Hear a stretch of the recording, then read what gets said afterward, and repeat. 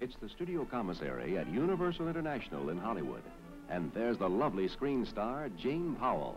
It's so nice of you to do this screen test with me tomorrow, Jane. Oh, I'm only too happy to help, Del. Tell me something. How do you get your hair to look so shiny and soft? Well, I always start my day at the studio with a Lustre Creme shampoo. Most all the stars do. I usually shampoo and set my own hair. Then you should try new liquid Lustre Creme.